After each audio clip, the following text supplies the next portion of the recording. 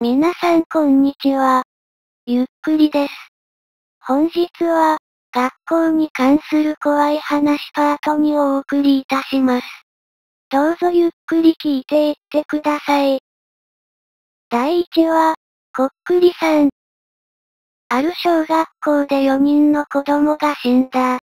血まみれの文房具が散乱する教室には、遺体の他に、ろうそく、灰になった紙、10円玉、テープレコーダーなどがあった。警察では捜査のため、テープを検証することになった。これは、そのテープの内容である。あ、ああ。回ってる？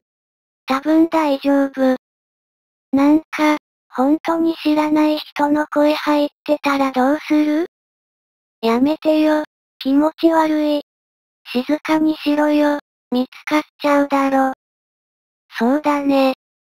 じゃあ、始めよう。まるちゃん、ろうそく。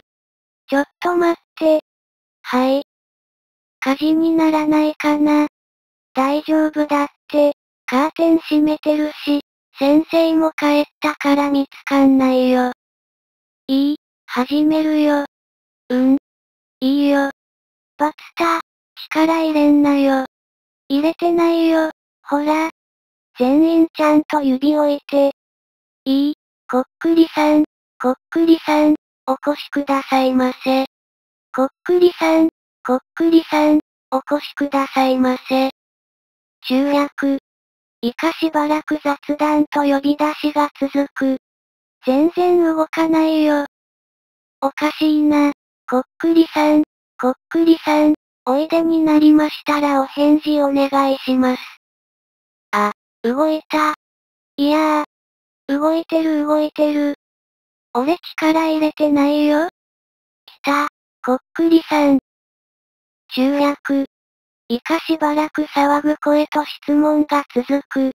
もういい。うん。そろそろ帰ろう。こっくりさん、こっくりさん、お帰りください。いいえ。こっくりさん、こっくりさん、お帰りください。また家だ。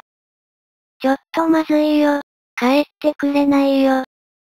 まるきちゃんどうしようこっくりさん、こっくりさん、お帰りください。また、やだ、やめてよ。バツ西、お前だろ、やめろよ。私じゃないよ。絶対指を離しちゃダメだよ。こっくりさん、こっくりさん、お帰りください。こっくりさん、こっくりさん、お帰りください。こっくりさん、こっくりさ。もうやめろよ。指を離しちゃダメ。こっくりさん、こっくりさん、どうすればお帰りくださいますか？あ、ぶ、ら、あ、げ。そんなの用意してないよどうしよう。こっくりさん、こっくりさん、油揚げはありません。動かない。こっくりさん、こっくりさん、油揚げはありません。お、み、き。なにそれわかんない。どうしよう。こっくりさん、こっくりさん、おみきはありません。どうすればお帰りくださいますかこ、ろ、す。嘘。もうやめろよ。バツ西。お前だろ、やめろよ。私じゃない。もうやだ、泣き声。バツ村、静かにして。こっくりさん、こっくりさん、許してください。もうお帰りください。こっくりさん、こっくりさん、お帰りください。こっくりさん、こっくりさん、お帰りください。ひ、と、り。こっくりさん、こっくりさん、一人、なんですか？ひ、と、り。だ、け、つ、れ、て、い、く。やだやだやだ。泣き声。こっくりさん、こっくりさん、お帰りください。まだ、動いてる。か、わ。こ、ろ、す。こっくりさん、こっくりさん、許してください。こっくりさん、こっくりさん、お帰りください。こっくりさん、こっくりさん、許してください。いいえ。もういや。指を離しちゃダメ。もう知らない。私帰る。話しちゃった。こっくりさん、こっくりさん、許してください。動かないよ。どうしよう。ねえ、どうしよう。私知らないよ。私知らない。やだ、戸が開かない。鍵かけられちゃったんだ。どうしよう。ねえどうしよう。こっくりさん、こっくりさん、許してください。いつまでやってんだよ。だって帰ってもらわなきゃ。窓は、こっくりさん、こっくりさん、許してください。シャ、カーテンレールの音。いやー。キャー。こっくりさん、こっくり。テープはここで切れていた。もう片面には何も録音されていない。遺体の状況から、各自の手にした、血にまみれたカッター、定規、縦笛、ほうき、などから、互いに殺し合ったようにも見えた。学校では、各教室に鍵が取り付けられていたが、数年前から、実際に鍵をかけるのは、使われていない教室だけになっていた。事件当夜も、現場となった教室の鍵は開けられたままだった。ろうそくは途中で消えており、もしろうそくの明かりがついていれば、用務員が見回りをする際に気がついたはずである。また、窓にはすべて鍵がかけられていたが、窓の外側には、一つだけ子供のものと思われる、血の手形が残されている。不思議なことに、教室からは4人の遺体が発見されたが、遺体のどの指紋も、その手形とは一致していない。正門鑑定の結果、テープには5人の声が録音されていた。教員、生徒に確認をしたところ、テープ中の、まるっちゃんと呼ばれる女子生徒を知る者は、誰もいなかった。この事件の真相はまだ解明されていない。第2話、転校生。小学校時代、70年代。隣のクラスであった話。小学校3年の夏休みが終わって、2学期の初日。担任の先生がそのクラスに女の子の転校生が来たことを知らせた。ただし転校生は入院していて、まだ学校に来られないという。ホームルームで、新しいお友達に手紙を書いて励まそう、ということになり、みんな思い思いの手紙を書いた。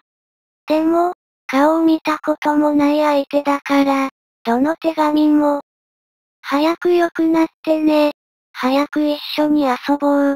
といった、型通りの平凡な内容にしかならなかった。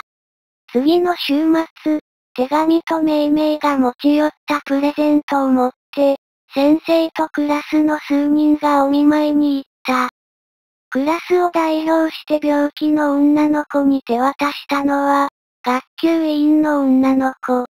夏休みにすっかり日焼けして、男子から、クロンボ、とからかわれるほど活発な子だった。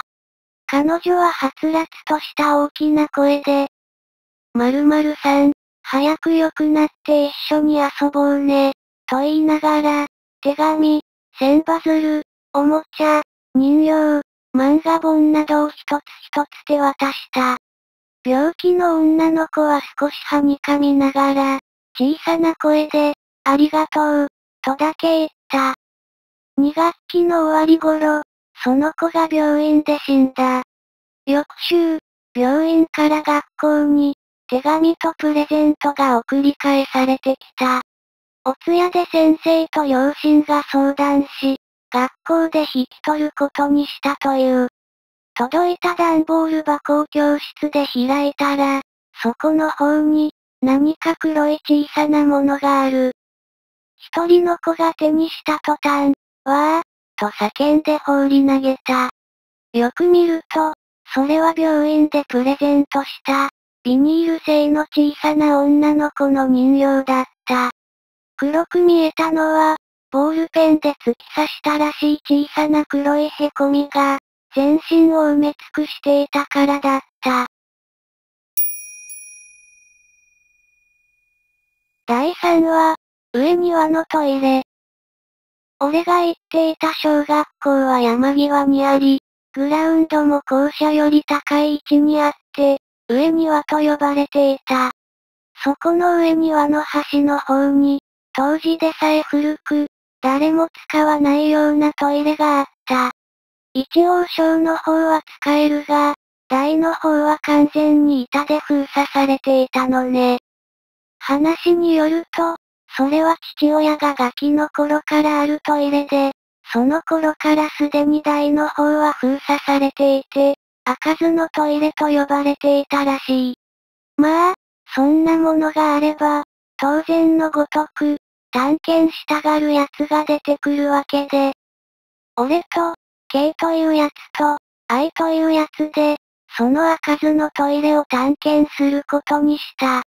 当時から3人で悪さばかりしていたから、今回も何の迷いもなく、当然のようにやろうということになった。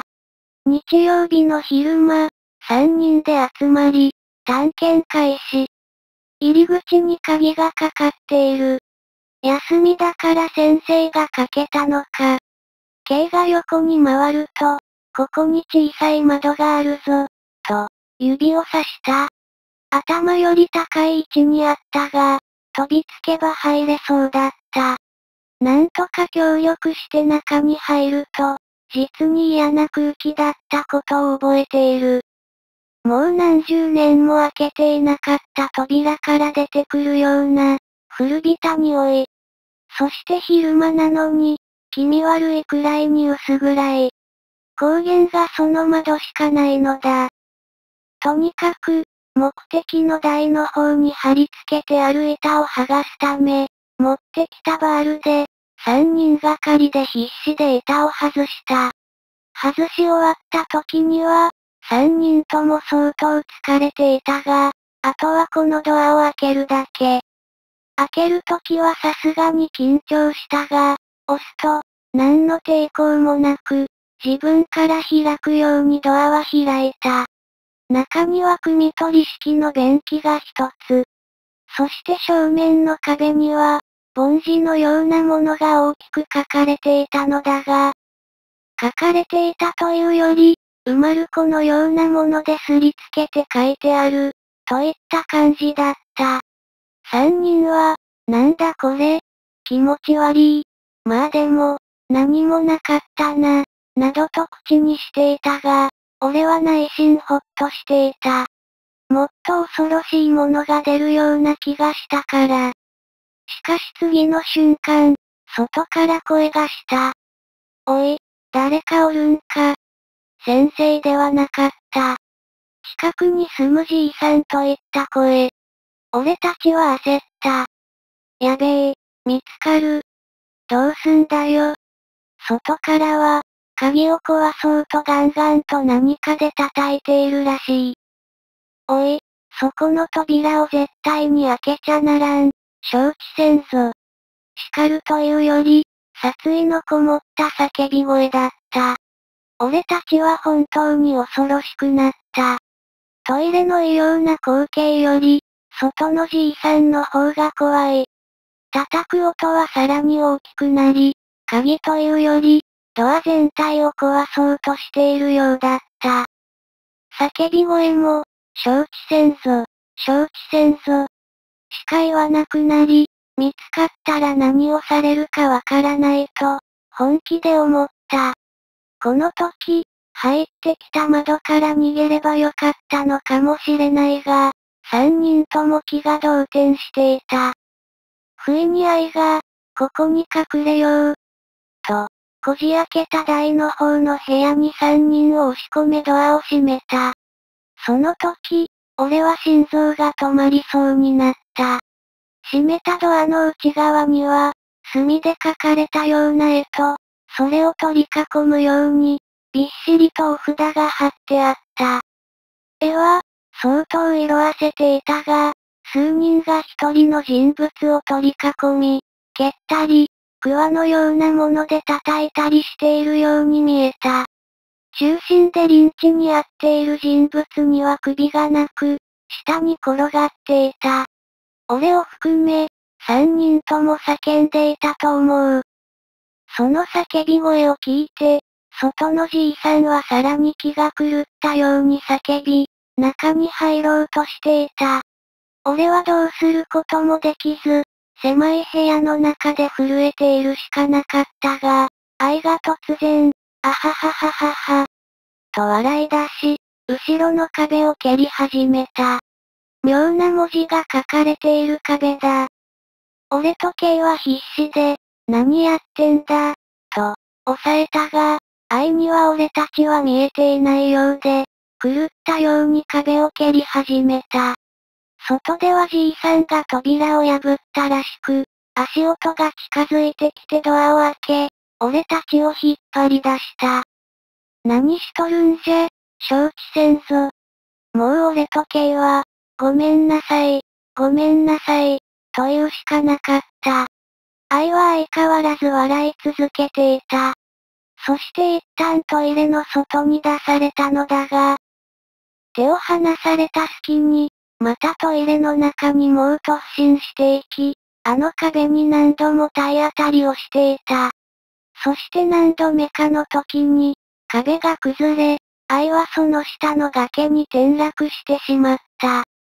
その後のことはよく覚えていないが、じいさんが救急車も呼ばず、冷静に、あいつはもう助からんぞ、と言っていたことと、親と学校から死ぬほど怒られたこと、そして愛が植物状態になったということで、警察から事情を聞かれたことは覚えている。それだけの出来事があったのに、あのトイレはそれからもかなりの間、壊されることなくその場にあった。あの時愛に何が起こったのかわからないが、今愛が生きていたら謝りたい。第4話、怪我の理由。俺の3つ上の兄貴は、気合の入った硬派で鳴らしていた。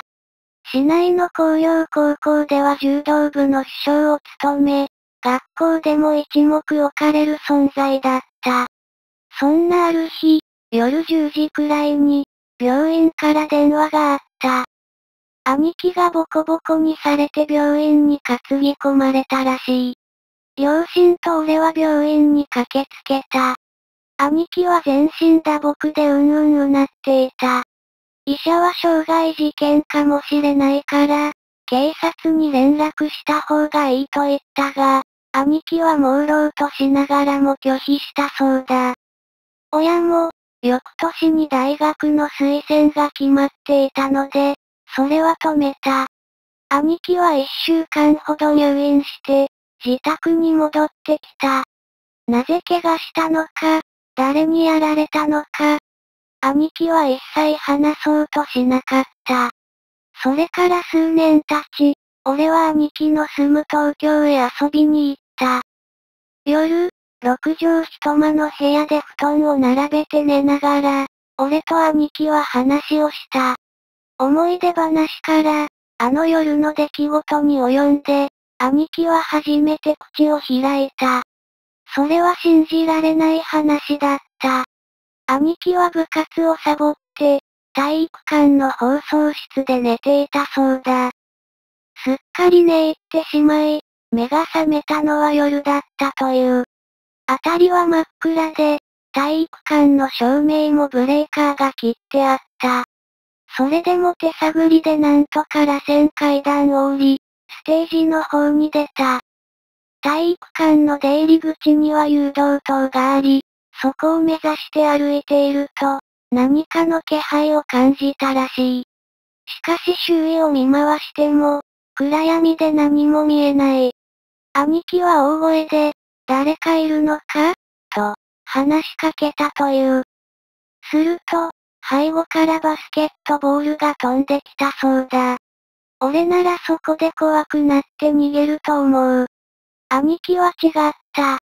ボールが飛んできた方に向かって、この野郎とかわめきながら突進した。そこから先は無我夢中で、あまり覚えていないそうだ。感覚としては、相手は一人じゃなかったらしい。四方八方から、一個のボールが兄貴に向かって投げつけられた。逃げようとすると、顔面にボールがぶつけられ、しゃがみ込むと、また飛んでくる。ほとんどリンチだった。どうにかドアの方までたどり着くと、背後で笑い声がしたそうだ。そして拍手も。兄貴は当時のことを思い出したらしく、話し声が震えているようだった。俺は寝たふりをして、わざといびきをかいた。第5話、指切断。美術の先生がまだ学生の時、いろいろな機材が置いてある部屋で、何人かで作品の制作に取り掛かっていた。確か3人ほど。近くで女子大生が巨大な電動の小切りで、木か何かを切っていた。が、なぜか突然地面にしゃがんだ。何かと思って確かめに行くと、彼女の指がすべて切断されていたのだ。彼女が急いで指を傷口にくっつけた。ついたことはついたが、もちろんバラバラ。切った摩擦で血も出なかったらしい。結局手術で縫合はできたそうだが、各指が1センチずつ短くなってしまったそうだ。実際こういう話は多いんだろうけど、怖い。そして気の毒。第6話、忘れられない顔。高2の夏。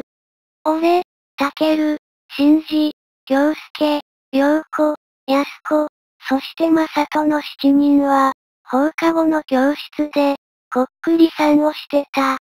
もちろん7人ともそんなものを信じてはいないし、どう考えても誰かが力を加えて動かしていることは明らかだった。それでも7人は、クラスメイトのことをこっくりさんに尋ねていた。ちょうど5人目の、平岡佳代子のことを尋ねていた時だった。佳代子はクラスではいじめられている人物で、みんなからバイキン扱いされていた女だった。数分間、彼女の質問を続けたその時、忘れ物を取りに来た佳代子がおもむろに教室のドアを開け、何してるの？と、笑顔で立っていた。その顔を見るや、一同、叫び声を上げ、陽子に至っては気を失ってしまうほどの恐怖がそこにはあった。教室の入り口でこちらを見るか横の顔は、唇が裂け、目がつり上がり、にー、と笑っていた。窓からの夕日がか横の顔を斜めに横切り、それはまさにこの世のものとは思えない、恐ろしい顔であった。慌てたマサトがこっくりさんを二つに裂くと、かよこの顔は元の通りとなった。今でも忘れない、あの顔を。第7話、心当たり。何のことはない話である。小学校5年生の夏休みが明けた、9月1日。始業式も終わり、久しぶりの友達との再会に、自分はどこへ行った、何を見たなど、土産話に花を咲かせていると、真っ黒に日焼けした担任の先生が教室に入ってきた。おお。お前らみんな真っ黒だなぁ。海にでも行ったのか？うん。先生も黒いけど、海に行ったの？先生は、丸山に行ってきたんだ。だからシャツの下は真っ白だけどな。この夏はいろいろあって大変だったんだ。え。先生、なになにあ。いや、また今度な。そう言って先生は出席を取り始めた。それからしばらくの間に妙なことが続いた。クラスの生徒に怪我人が続出したのだ。その数、2週間で実に18名。それも全員右半身のどこかを骨折しているのだ。この異常事態には、小学生といえども、何かがあるのではないかと噂が走り、当然学級会ではこの話が議題に上がった。みんな最近怪我が多いけれども、夏休み明けでたるんでいるんじゃないか。先生、みんなは誰かが呪いをかけたんじゃないかって言っています。そんなバカなことを言うんじゃない。だってみんな右手右足を怪我しているんですよ。呪いやたたりなんて。そんな。こう言うと、先生は目を閉じて黙りこくった。あ。突然先生はそう言うと立ち上がり、心当たりがあるから任せなさい。と言い、学級会はそこで終わった。その週先生は学校を休んだ。翌週私たち生徒が教室に入ると、黒板の上には一枚のお札が貼ってあった。それは先生が夏休みに行った、丸山にある、丸山神社のお札だった。そして、これで大丈夫。もう怪我はしないから安心だぞ。と一言言うと、それ以上はこの件について何も話さなかった。結果、それ以降骨折や怪我をする生徒はピタリといなくなった。その後卒業してから、この話を再度先生に尋ねたが、いや、ちょっと山で心当たりがあってな。と言って言葉を濁し、答えてはくれなかった。20年以上後の同窓会で知ったことだが、先生が登った山で、前日に滑落事故があった。そして翌日、手足が激しく損傷した遺体を、偶然通りがかった先生が発見した。しかしそのまま遺体を連れて下山することはできない。仕方なく先生は、遺体をそのままにして、下山後に警察に連絡したという。第8話、かくれんぼ。俺が厨房の頃の話。小学校の同窓会で、前の友達とかみんな集まって盛り上がってた時、その頃一緒に遊んでたメンバーで、久しぶりにかくれんぼしようってことになって、俺らだけ途中で抜け出して、神社の近くのいつもの林に行ったんです。消防の頃からその林でたびたび遊んでたもんで、だいたい隠れ場所とか決まってて、それも限られてたんです。だからすぐ終わったらつまんないって話になって、その小学校の休校舎に行ってやることにしたんです。その休校舎って、いかにも怖いぞって感じの、かなり不気味な校舎で、消防の頃はみんな怖がって、その休校舎ではできなかったんですが、今はどっちかというと度胸試しって感じで、みんなノリに乗って、そこでやることになりました。けど正直まだ怖がりな俺は、いつものところでいいって、とか反対し続けたんですが、みんなに押し負かされて、やはり急行車でやる羽目になったんです。しかも、じゃんけんで負けて鬼になってしまい、最初から一人行動です。空も少し暗くなってきたから、これ以上暗くなるとやばいと思い、さっさと見つけて終わりにしようと思ったんです。何しろ、旧校舎といっても、一応2年生まではこの校舎に通ってたのだから、大体の場所はわかってたんです。それで、本当は1分数えるのがルールなんですが、怖いからちょっとずるして20秒ぐらいで探し始めたんです。掃除ロッカーとか、棚の下とか、当時ありきたりだった隠れ場所をくまなく探したんですが、少しも見つかりません。この旧校舎は全部で2階までしかなくて、2階丸ごと隅々まで探したんですが、やっぱりいません。そろそろ一人くらい見つかってもいいよなーって思ってた頃、上で何か叫び声がしました。確かにそれは、友達の一人の声だったような気がしました。俺はすかさずダッシュで2階に行ったんです。そして長い廊下を見渡しましたが、いません。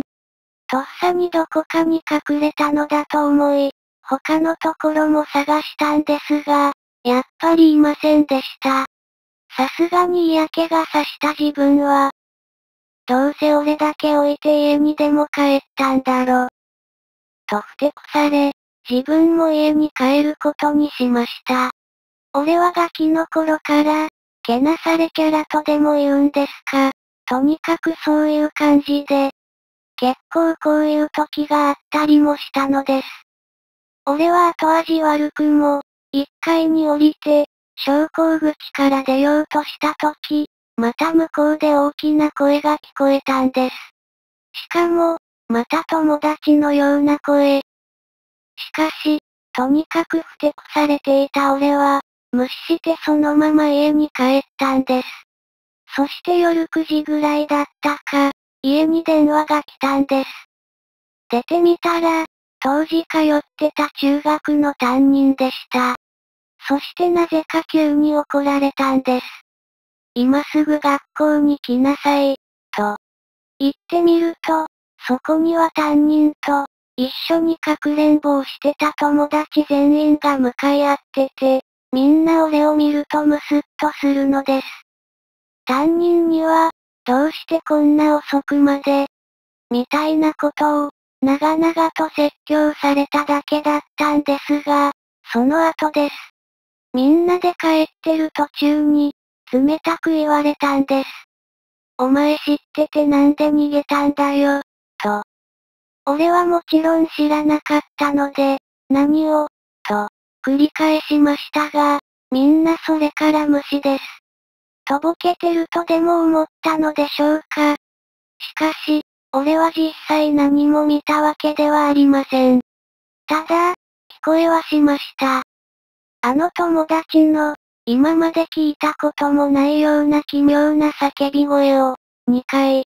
今俺は工房ですが、ついこの前その友達が、その急行車の近くの道路で事故に遭い、大怪我をしたということで、ついこの話を思い出してしまいました。第9話、廃校舎。その廃校舎は、出ることで有名だったらしい。だけど、意外なくらい怖くない場所なんだそうだ。周囲が住宅街という環境のせいか、空気にあまりよどみがないというか、そう埃っぽいわけでもなく、湿気が多いわけでもなく。でも、出るらしい。そこに友人が二人連れで行ってきたそうなんだが、月も出ていて、持ち込んだ懐中電灯も、そう必要ないかというぐらい明るかったそうで、妙に薄い緊張感が、なおさら薄く。3階建ての校舎の1階から順に、一つ一つ教室を覗いていき、階段を登り、2階も一巡りしてみたが、特に何もない。それじゃ3階へ。というところで、階下から声が聞こえてきたそうだ。さすがに一瞬ギクッとしたが、どうやら声から判断するに、自分たちと同じような連中らしく、しかもカップルの様子。緊張感もなく、逆に楽しそうな笑い声さえ聞こえてくる。ムードをぶち壊され、しらける二人。どうにも肝試しの雰囲気ではなくなってしまったので、もう帰ろうかとも思ったところ、友人の連れがこう言い出した。あいつら驚かしてやろうよ。確かにちょっとムカついていたので、友人もその話に乗ることにした。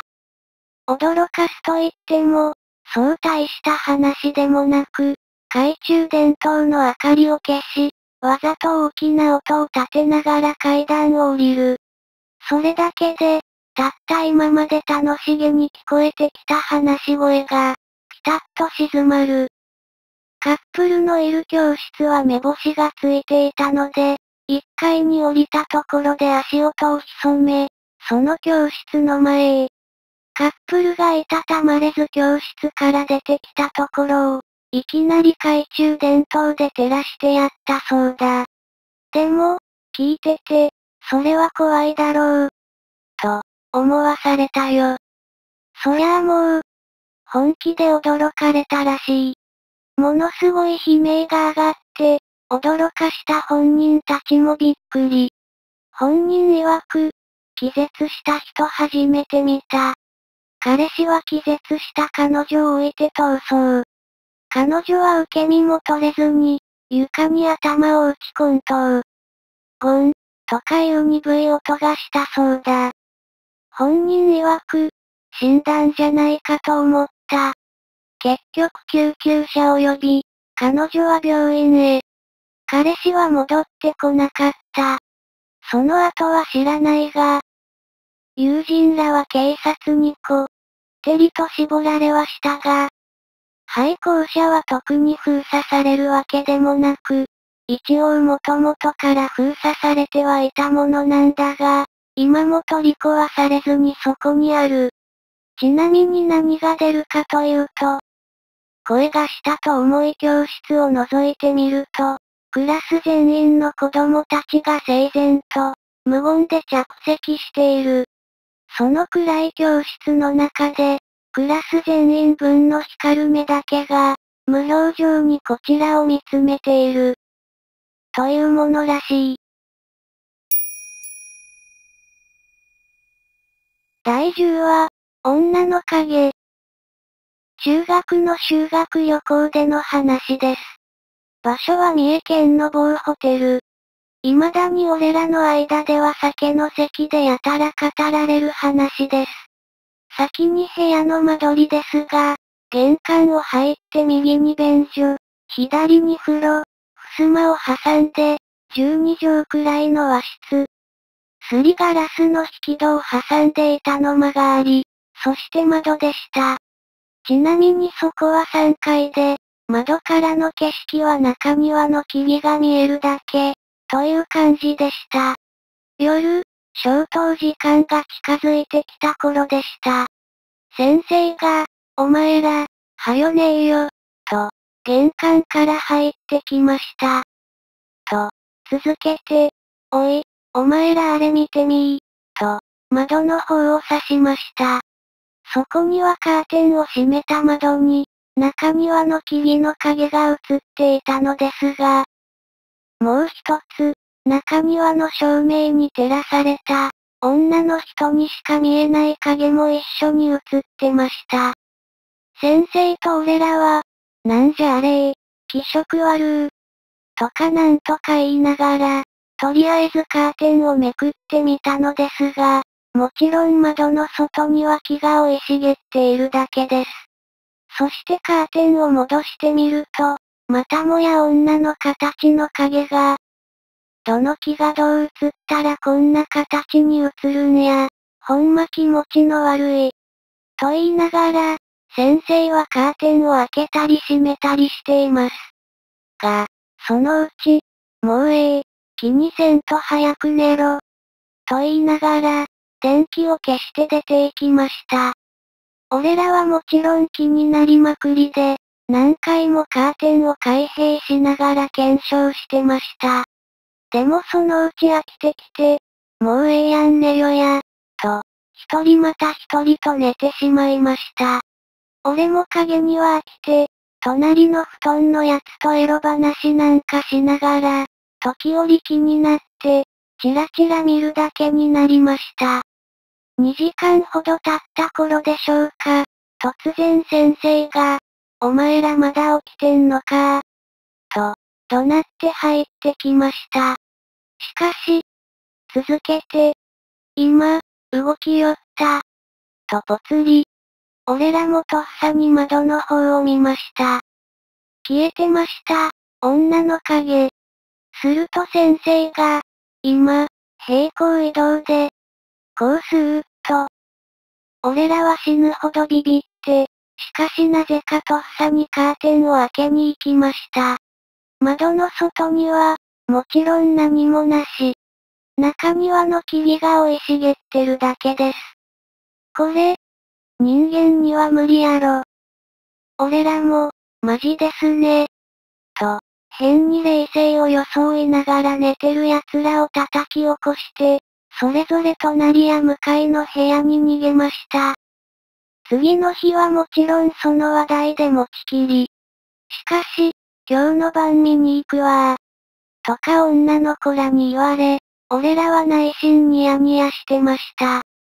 その日の夜、俺らと女の子らと、先生まで巻き込んで、女の影を見るツアーが開催されました。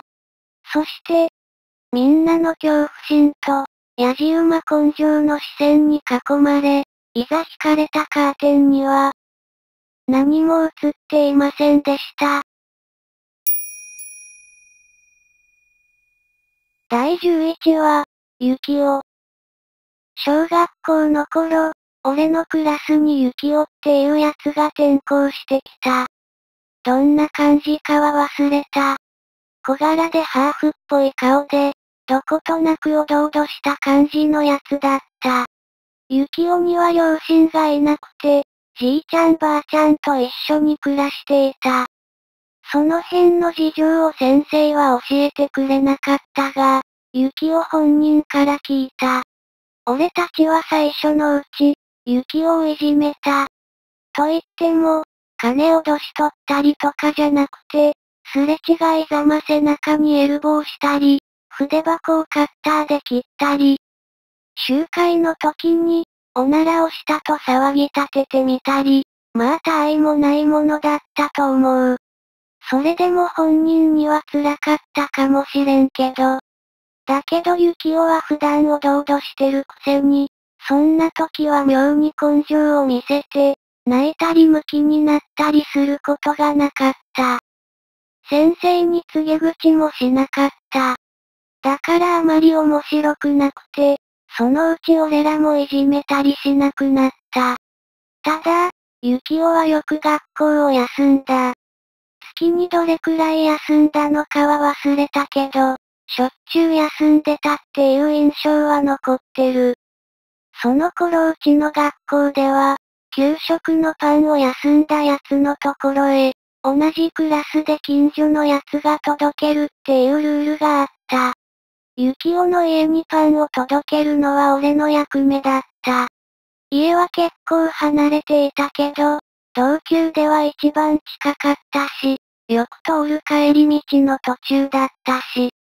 ユキオの家は、木造の文化住宅で、いかにもじいちゃんばあちゃんが住んでそうな家だった。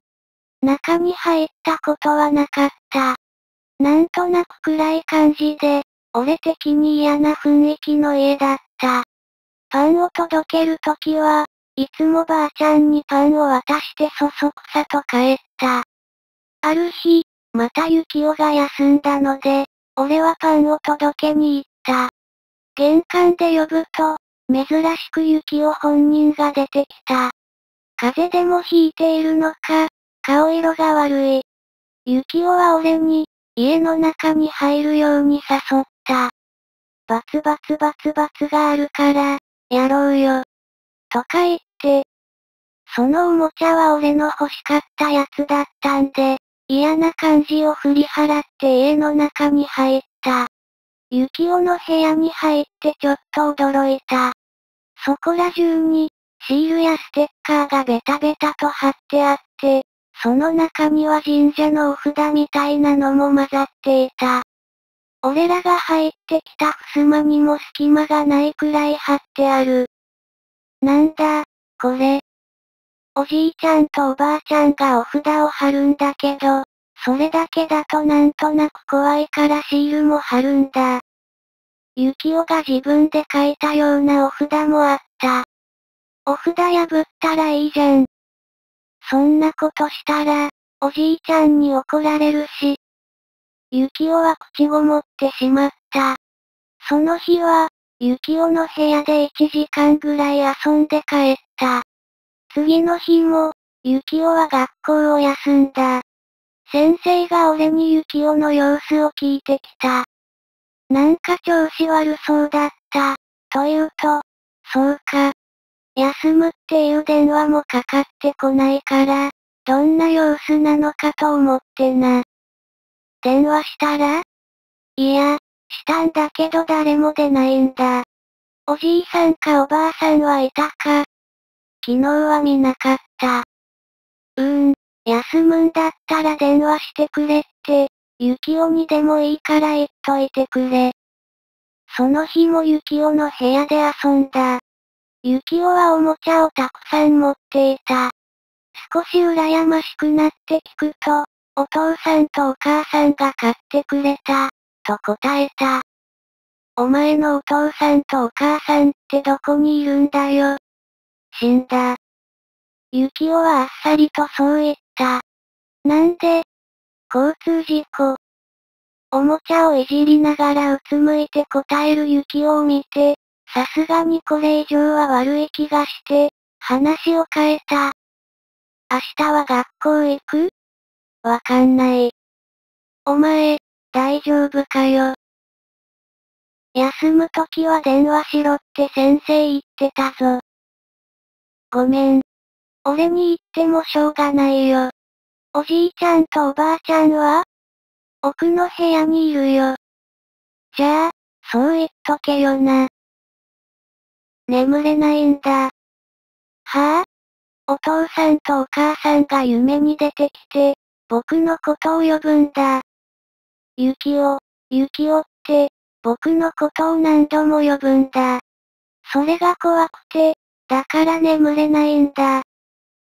昨日は、腕を掴まれた。僕を連れて行くつもりなんだ。俺はだんだん怖くなってきて、もう帰ると言うと、ユキオはやけにしつこく引き止めた。お前が怖いのはわかるけど、俺がここに泊まるわけにはいかねえだろ。なんで俺んちはお母さんが心配するから。そこまで言って、やば、って思った。ユキオはうつむいて何も言わなくなってしまった。俺は、いたたまれなくなって、ユキオの家を半ば飛び出すように出て行った。次の日もユキオは学校を休んだ。先生は一緒に行くと言って、帰りに俺を車に乗せてユキオの家に向かった。先生が玄関で呼んでも、何の返事もなかった。玄関を開けると、先生が顔をしかめた。靴を脱いで家に上がった。台所やキオの部屋には、誰もいなかった。キオの部屋を出ると、右手に部屋があった。キオが昨日言っていた奥の部屋というのは、そこなんだろうと俺は思った。先生がそこの襖を開けた。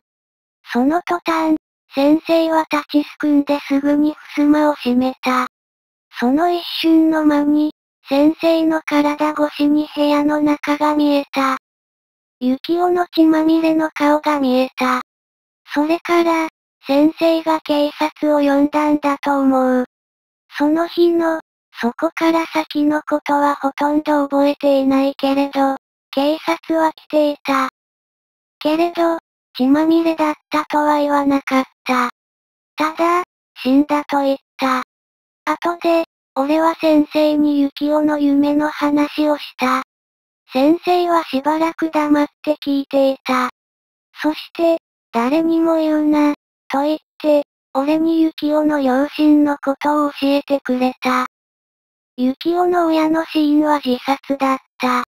一家心中を図っていた。ユキオはその時、運よく生き延びて、じいちゃんばあちゃんのところへ引き取られた。俺はそれを聞いても、そんなに驚かなかった。なんとなく、そんな気がしていた。何日かして、俺は警察に呼ばれて、ユキオの家へ行った時のことを話した。ユキオの夢のことも話した。警官は俺に、その話が嘘でないかをしつこく聞いた。俺は嘘じゃないと、何度も言った。本当に君はあの家で、ユキオくんからその話を聞いたのかい？うん。一緒に来ていた先生が困った顔をしていた。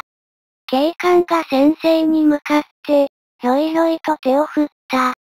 それが合図だったのか、先生はしばらく考えてから俺に言った。あのなぁ、俺とお前がユキオの家に行っただろ。あの時。先生は言いにくそうだった。俺は嫌な予感がした。あの時、ユキオたちは、間違いなく、死んで3日は経っていたんだ。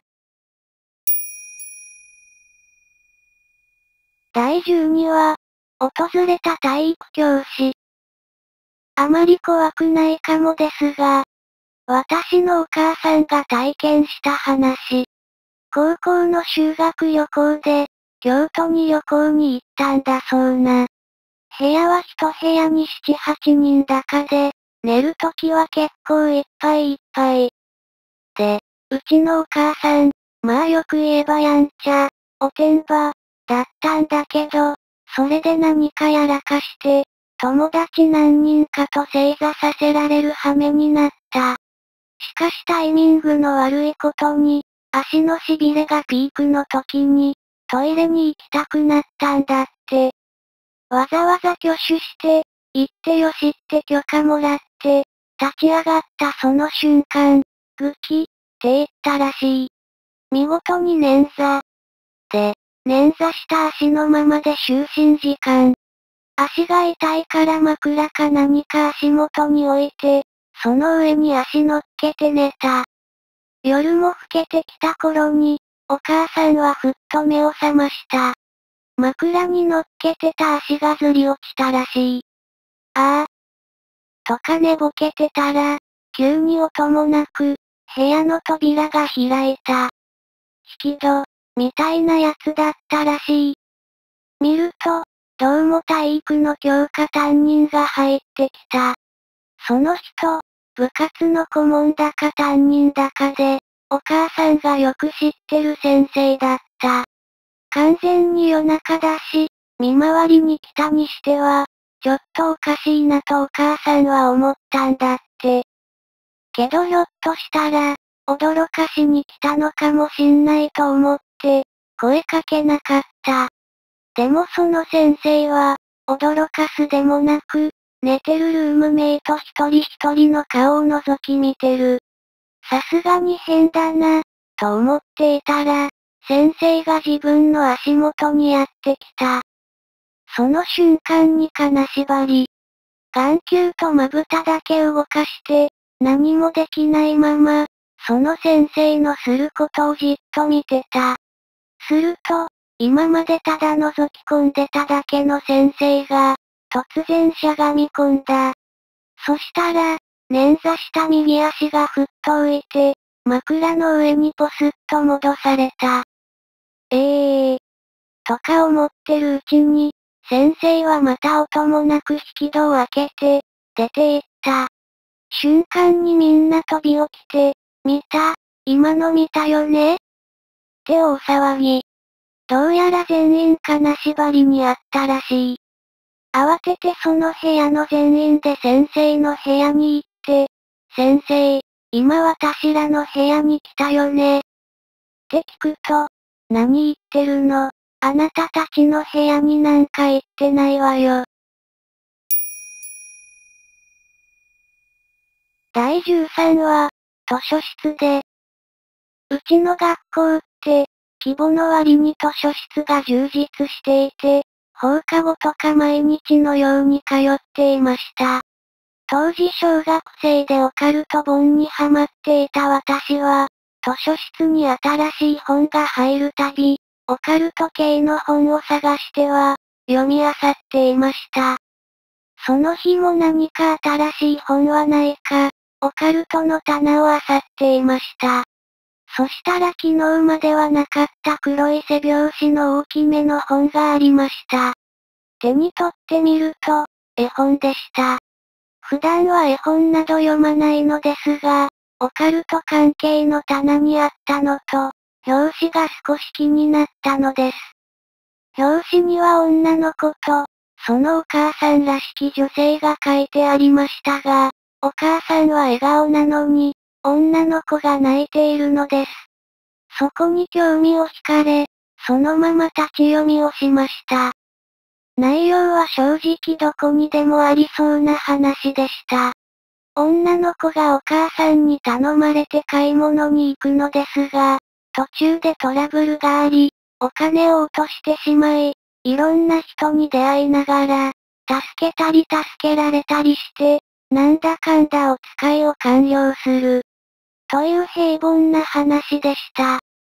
なんでこの本がオカルトの棚にあるんだろう。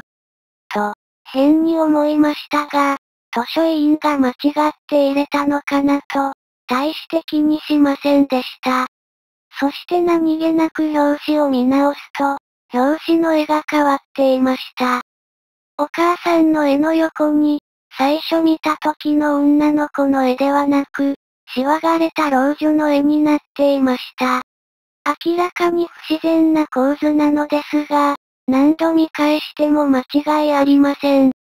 なんだか怖くなってあたりを見回すと、みんなポツポツと帰り始めていて、私も慌てて本を棚に押し込むと、荷物をまとめて帰宅しました。